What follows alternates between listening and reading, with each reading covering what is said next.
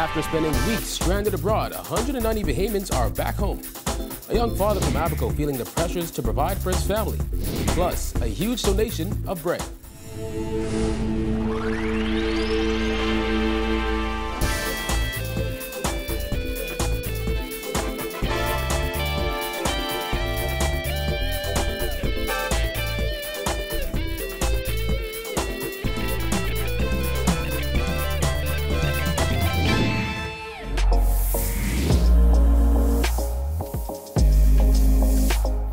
News is brought to you by Alive. Welcome to Our News and thank you for joining us. I'm Kyle Joaquin. After spending weeks stranded abroad, 190 Bahamians are back home tonight. It's the first phase of the government's repatriation exercise.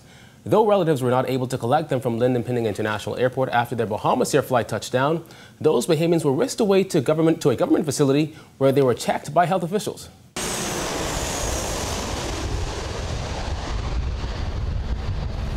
It's back on home soil for 190 Bahamians, the first group in the phased approach of returning these citizens who were locked out after borders closed in March.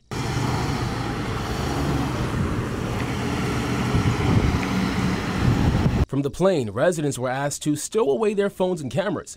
Immigration officials took passports from passengers while they were still on the plane. Once all the passengers were cleared, they were allowed to deplane and collect their luggage from the tarmac. The first round of Bahamians were transported via five Majestic tour buses from Pindling International Airport just after 11 this morning. They were taken to Breeze's Hotel along Cable Beach, where Ministry of Health officials were waiting behind gates guarded by heavily armed Defense Force officers.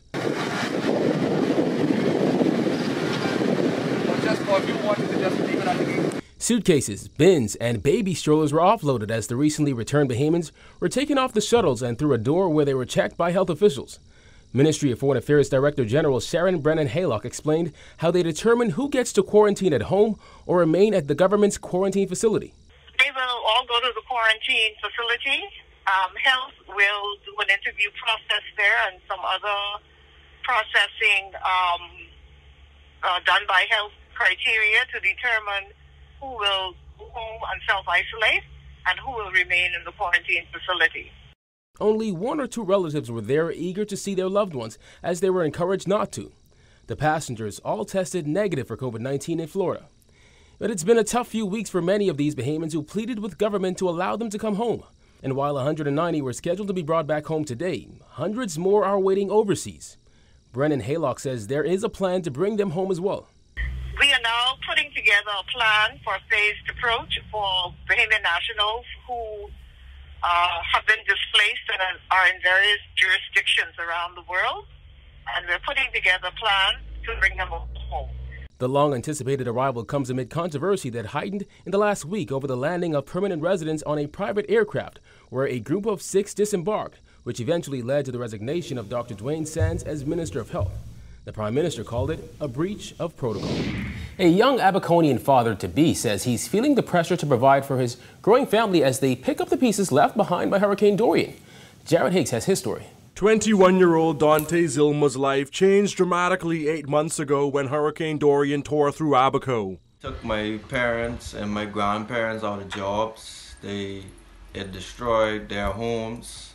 Zilma is trying to get his life back on track. He has a baby on the way and wants to be able to do more for his family. However, he says the process is slow. It makes me aggravated because at the end of the day, I feel like I is the one who get a supply and help for my family. So if I can't do that, I don't feel, I don't feel right. I don't feel like a man. So at the end of the day, I still go there and see what I could do or if I could find something to do.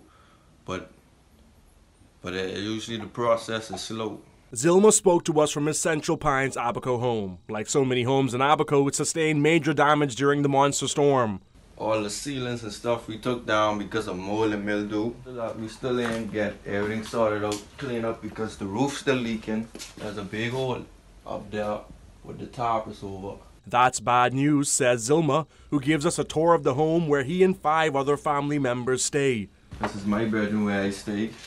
And I have a tent right there so when it rains or when it get cold, and also the houses it isn't closed properly so a lot of mosquitoes be inside bike new. So I have this tent so I could sleep in peace sometimes. With my rest of my family, them, my brothers and my my other cousins who were with me, they can, they really have help. The pandemic has served Abaconians with a double blow as demand for government aid has skyrocketed. Many Abaconians have slammed government's response to the storm, and Zilma is among them. You have some local government people who stepping in, who doing what they supposed to do, but little or not, they don't. They still don't have enough support from the from the big party that's supposed to be helping them. Besides Hurricane Dorian and the pandemic, Zilma's family had to cope with the passing of his grandfather about four months after the monster storm. John Jack Hardy was a noted columnist and teacher. He writes for the Tribune and Abaconian. Zilma was hurt by his grandfather's passing, but says he is motivated to become a provider for his family. With his home island destroyed and family life changing, Zilma says the pressure is on. It ain't easy as in saying we have to get food every day we have to get gas for the stove. We have to get gas for the for the generator. Reporting for our news, I'm Jared Higgs. Progressive Liberal Party Deputy Leader Chester Cooper is calling on government to outline for taxpayers a comprehensive plan in response to the economic fallout from the coronavirus. This after the finance minister revealed government may borrow $250 million following the pandemic. Berthany McDermott reports. The revelation by Finance Minister Peter Turnquest that government will likely borrow at least $250 million in the wake of the COVID 19 pandemic comes as no surprise to Opposition Deputy Leader Chester Cooper, who says taxpayers deserve a detailed account of how that money will be spent. What we would like to see, though, is more transparency in relation to uh, where funding is coming from, what it's going to be used for. And ideally, we'd like to see that in advance not. Acknowledging that these are difficult times, Cooper said there should be more economic briefings. He said it is his belief that fear over the economic fallout now outweighs fear of the coronavirus. Cooper says government has few options available to assist in jump-starting the economy, and a tax increase should not be one of them. The tool of borrowing is available to the government. Uh, I'm certain that they will uh, take a tool. I am concerned that the cost of borrowing has increased as a result of the downgrades. Uh, Standard & Poor's recently indicated that uh, foreshadowed a downgrade. This is going to increase the cost of borrowing. Uh, the worse the downgrade is, uh, the more pronounced the junk status is, the higher the cost of borrowing U.S. market is going to be. On Wednesday, Turnquest reiterated that government has no intentions of raising taxes after the pandemic. Back in January, Turnquest announced government's intention to borrow $600 million post Dorian. Earlier this week, central bank governor John Rolle estimated the Bahamian economy would not recover from the economic crisis caused by COVID 19 until 2022. I know that there's been an, appoint, an appointment of a what they call an economic recovery committee has been appointments uh, of several committees. Uh, what we need to see, though, hopefully sooner rather than later, is a comprehensive economic plan. Uh, much like the emergency COVID plan that I released on, on April 10th. Reporting for Our News, I'm Berthany McDermott. Healthcare workers make up 23% of those infected by COVID 19. It's a statistic revealed by a senior health official. Georgia Bain reports.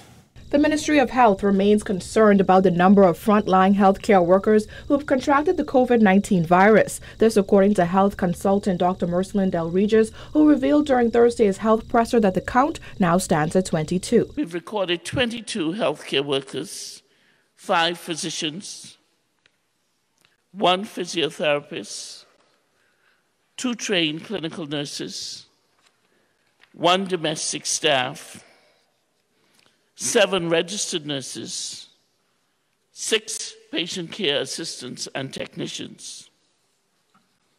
If you would show the next slide, we looked at this. This accounts for 23.9% of the total cases in the Bahamas. As a result of the shortage of healthcare workers, student nurses undergoing training at public healthcare facilities are now being considered registered nurses as a result of the amended emergency order. However, down the street at Doctors Hospital, CEO Charles Sealy said the private hospital has not been affected by a shortage. One of the things we did very early is we started to do some mitigation exercises, and one was to reduce one our outpatient activity Secondarily, we went and looked at our inpatient activity and really ensured that we only admitted those who absolutely had to. What that did for us then, of course, is we were able to leverage our resources. And so we've not been impacted significantly by the fact that some healthcare workers have been exposed and have been placed on self-isolation or quarantine. So we've been able to manage the care both for the patients who are coming at the Doctors Hospital Collins Avenue, as well as those who are being treated at Doctors Hospital West Lake Road. According to Sealy, depending on how many coronavirus patients are being treated at its Blake Road facility, Doctors Hospital can have about 40 persons on staff. He said a vital part has been obtaining the necessary protective equipment for the staff members. Similarly, again, another collaborative effort. Um, I must thank the, the Minister of Health uh, and the team there, they've been very, very helpful in supporting what we have. Uh, it has been a challenge on the onset to be able to acquire, but we are at a good place right now. We continue to bring in more supplies, and wherever support and aid is needed, we're able to leverage that by requesting from the government, and they've willingly uh, come alongside. Despite a shortage in testing equipment, Sealy said he is grateful for the hospital's partnership with the Ministry of Health, which has prevented the hospital from experiencing any level of shortage in equipment. Reporting for R news, I'm Giorgio Bain. All right, thanks, Giorgio. Still to come, a local farmer gets creative during the COVID 19 crisis. Plus, meet the often overlooked but important part of the team at PMH. Stay tuned.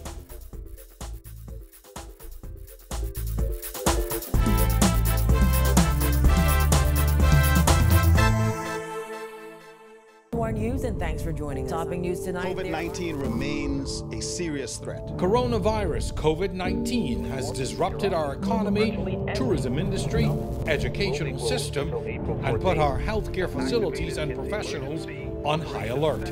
Are you prepared? Do you have all the facts? Stay tuned to this network for the very latest news and information on this global pandemic.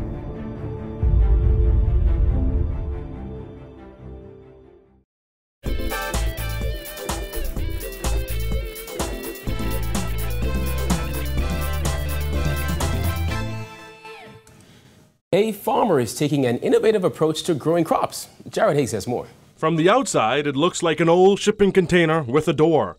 But when you step inside, it is clear that this is not your average farm. This is one of a kind. You'll never see one like this anywhere else in the world. Saron Dean is the brain behind Organic Solar, an operation that specializes in growing microgreens. His indoor lab just needs a bed, and you could sleep like a baby. It's temperature controlled.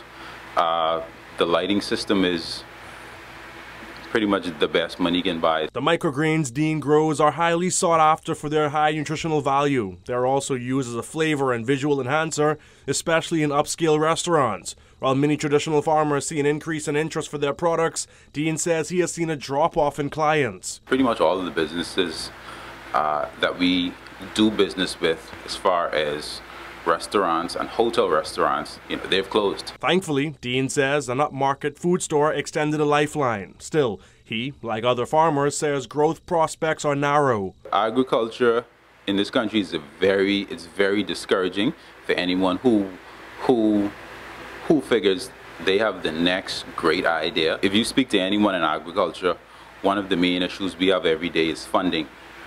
Uh, if I go to the to any government agency and ask for a loan to build something like this, they'll tell me no. Concerns over food security have grown since the start of the pandemic, but the innovative farmer thinks the conversation is long overdue. Tourism being the number one industry in the Bahamas, well, agriculture should have been that. While he admits that agricultural work is discouraging, the indoor farmer says he is driven by passion. His message for other farmers out there. So let's get to work. Let's let's not only work on what we do, let's work together. Uh, let's do some things that are different. And let's show everyone that we can not only grow for ourselves, but we can grow for everyone in the Bahamas. Reporting for our news, I'm Jared Higgs. They may not tend to patients, but they're a critical part of the team at Princess Margaret Hospital. Tonight, Jerome Sawyer highlights the hospital's janitorial staff. This story was brought to you by Sun Oil Limited, fueling growth for people. They are often overlooked, even forgotten. But without them, the Princess Margaret Hospital and most other places couldn't function at the level it does. They are the janitorial staff. Ernestine Bodie is the acting supervisor of housekeeping for the medical block. She and her team of housemen and housekeepers ensure the facility is clean and properly sanitized around the clock. Your frontline staff, we definitely is the ones that cleans up behind everybody else that made their mess. Mm-hmm. After the nurses and the doctors already finish dealing with their patients and also um, the auxiliaries on the floor, anything that they use is to go goes in the bin or what's dropped on the floor we are responsible for. And Bodie and her team are determined to keep it all together. She sees everyone as playing an important role in the hospital, as they are all in the life saving business. And, like many of her fellow healthcare workers, at times she feels the risks associated with being a frontline worker. This is my profession. This is my profession that I have chosen, so I must demonstrate quality care and be professional in whatsoever I do. But yes, there is a fear that when we go home, we have a family that is very concerned about us and what may be walking through our home doors. Bonded as well by the fact that people still aren't staying at home. So if you stay at home, then you wouldn't be transmitting and you wouldn't be coming in contact and putting your very own family lives at risk. Reporting for our news, I'm Jerome Sawyer. All right, thanks, Jerome. Still to come, Sunshine Finance steps up to help feed the hungry. Stay tuned.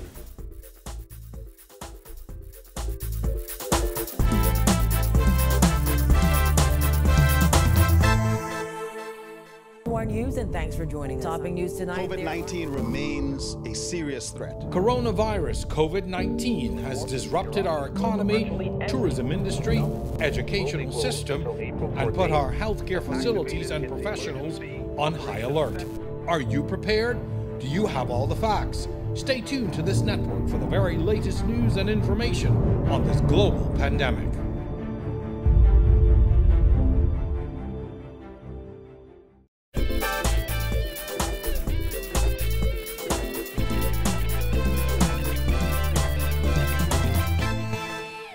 Watching Our News. Welcome back. The continued help of corporate Bahamas has assisted greatly in the fight against hunger. According to Bahamas Feeding Network Executive Director Philip Smith, their organization could not have helped thousands in need without generous donations. Jillian Gray has more.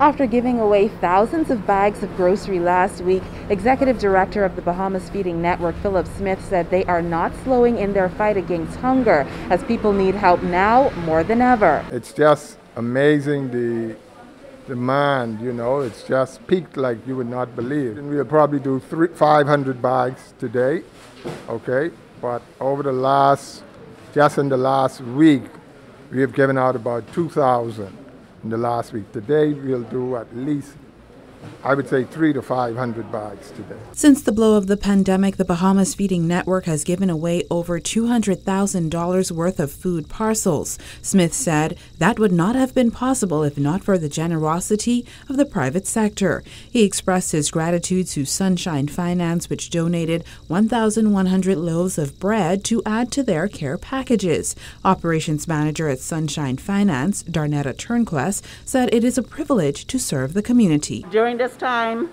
of COVID 19, we especially understand the hard suffering that you know uh, people are experiencing due to uh, being out of work, or simply even uh, persons before this, you know, were, were seeing some hard times. So it is crucial that we who can help step up and lend a helping hand. Sunshine Holdings plans to further its reach by feeding essential workers and reaching out to other civic organizations. With eight in her household, Melanie Sands said the food will go a long way. Both she and Bridget Knowles have been out of work and they were grateful for the generous grocery package. On behalf of my family, I am very grateful and happy, you know, that he is assisting, you know, in this time of our crisis. I was here from 6 this morning everything was successful, and I got my package.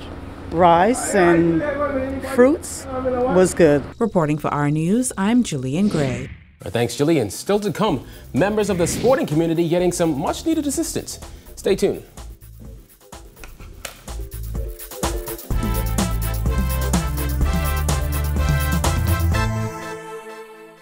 News News, and thanks for joining us. Topping news tonight. COVID 19 remains a serious threat. Coronavirus COVID 19 has disrupted our economy, tourism industry, educational system, and put our healthcare facilities and professionals on high alert.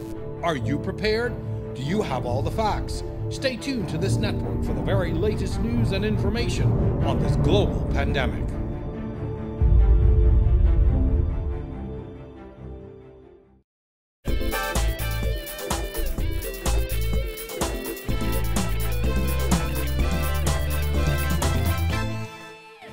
And finally tonight, a local sporting association extending a helping hand to its members.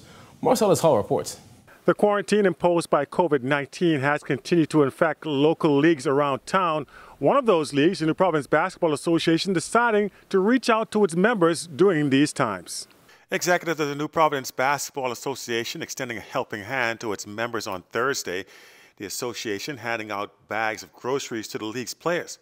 League spokesman Moses Johnson talked about the initiative. We know at this time it's rough. I know with the COVID 19 um, pandemic going on, people are losing their jobs, you know, people are not working. Uh, some people and, and, our players and coaches come from a, a large range in demographics, so we, we just want to go out there and help help in any small way we can and um, give back a little bit of, of what they give to us because they make the they make the season and they make the league what it is. So it has brought everybody together, you know uh, you say hard times make make tough people. So we've we've bonded together, and it, it's brought everybody together. And I hope that this effort and this community effort is something that can bring the teams together, and that that can show that uh, from the executive standpoint that we stand with them, and uh, we're in this fight together. Johnson adding that the executives are prepared to make adjustments if needed when the all clear is called to resume activities. I think things should run smoothly. I think once the go ahead is given, we'll be able to get back into the into the swing of things. There may be a few tweaks or adjustments made to to, to the schedule and length of games, but we'll see how it goes. Once everything is all, all cleared and given, uh, we'll we'll definitely let everybody know what's going on. Now, as far as the playoffs and championships, which were interrupted by the quarantine, Johnson says they're hopeful to be able to continue there as well. Uh, discussions are still ongoing, but um, we, we look forward to the president's um, IDA and Team Next Level's ideas to continue with the playoffs and continue the finish of the season. So now, as league officials hope to have things return to normal sooner rather than later, well, the waiting process does continue. For our news, I'm Marcellus Hall. The weather is next.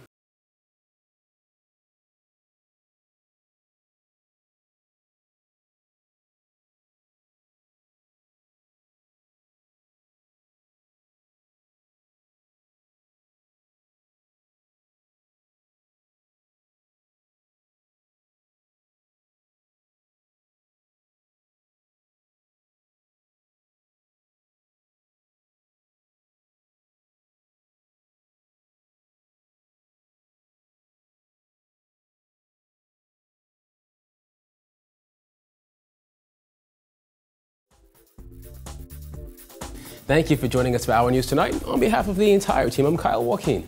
Remember, you can catch Our News on the go with the Go Play app. Have a good Friday evening, Bahamas.